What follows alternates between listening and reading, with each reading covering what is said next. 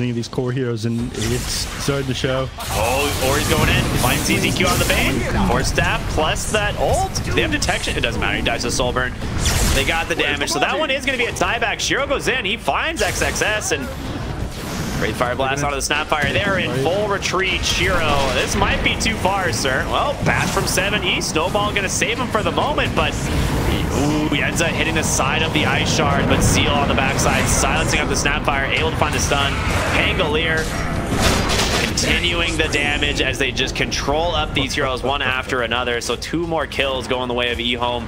And just before Rosh respawning, he just used Egg for this as well.